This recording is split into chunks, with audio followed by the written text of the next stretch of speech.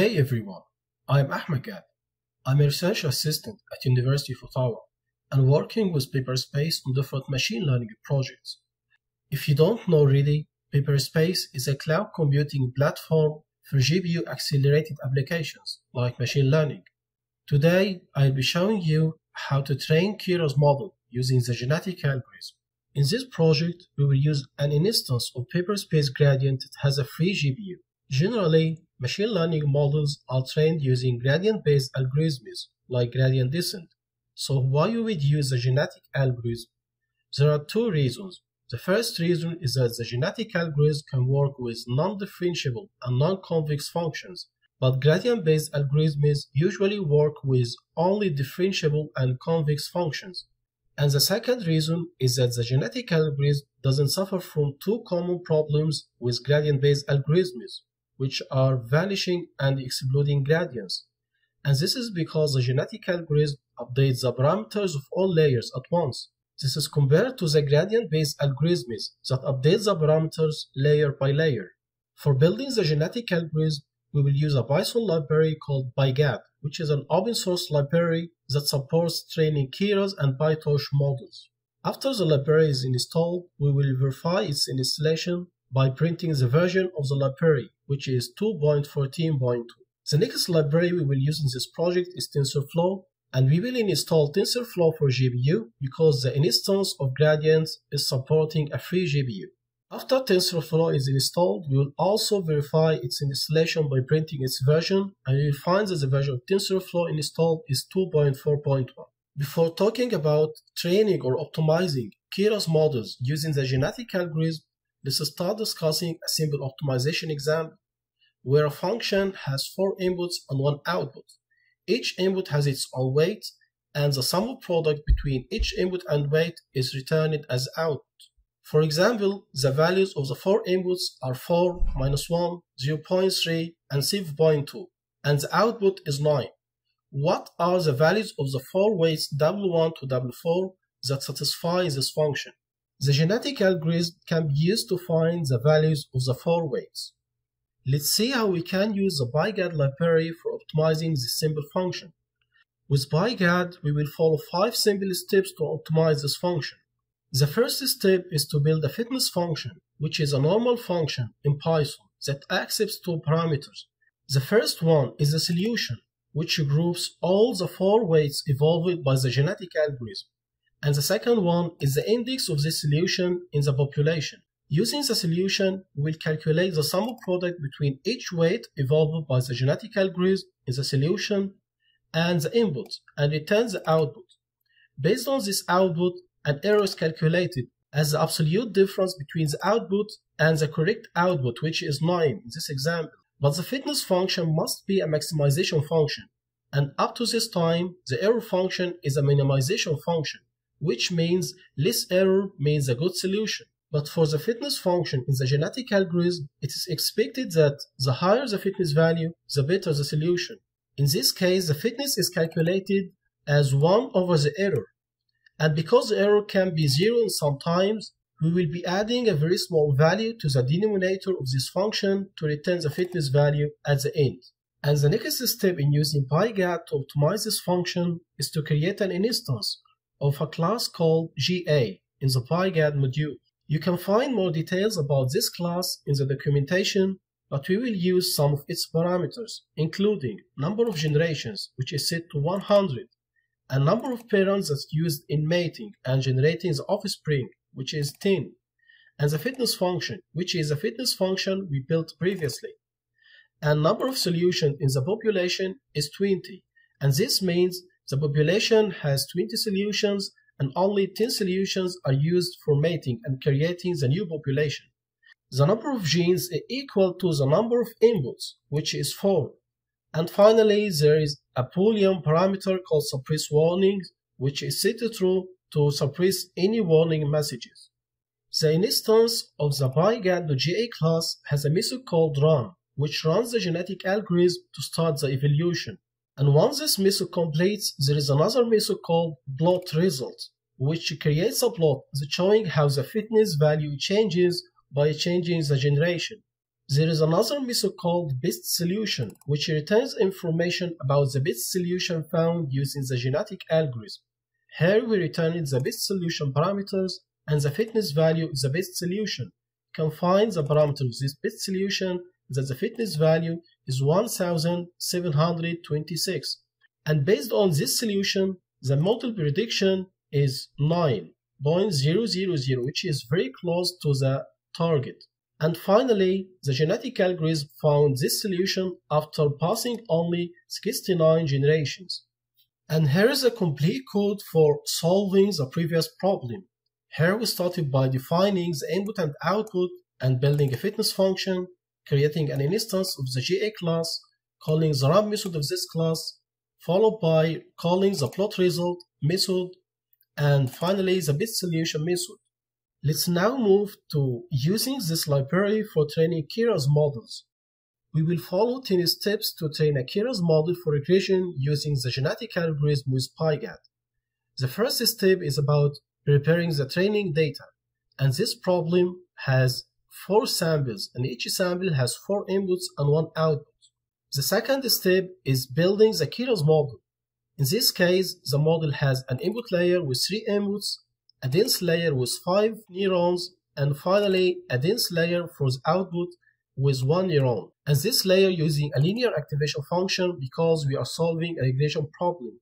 And finally, the model is created and saved in the model variable. And the summary method of the Keras model shows the model architecture, which has a total of 26 trainable parameters. And the next step in training a Keras model using the genetic algorithm is to create an instance of a class called KerasGA that's available in the KerasGA module. The constructor of the KerasGA class accepts two parameters. The first one is a model we created previously, and second one is the number of solutions in the population, which is 10 in this example. And the instance helps us to return the initial population, which has a group of solutions for the model. And next is to build the fitness function which accepts already two parameters as we discussed previously, the solution, which is 26 parameters for the model, and second one is the index of this solution in the population. The fitness function is starts by calling a function that's called model weights as matrix, which accepts the model and the solution. And the solution is passed as a 1D vector, and this function returns the solution in matrix form. This form can be set as the current weights of the Keras model using the set weights, which accepts the model weights we already converted into matrix form, and then the mean absolute error is calculated between the original outputs and the model predictions. And finally, the fitness value is calculated for this solution and returned by the fitness function. After building the fitness function, we will create an instance of the GA class, which accepts the same parameters we discussed previously in addition to the initial population, which accepts the initial population created by the KerasGA instance, and the second one is the on generation that accepts a callback function to be called after each generation. In this case, the function accepts the instance of the GA class and prints the number of generations passed and the fitness value of the best solution found up to this time. Now we are ready to call the run method that starts the evolution of the genetic algorithm over a number of generations equal to 250. And according to the output of the callback function, we can find that the best solution found has a fitness value of 66.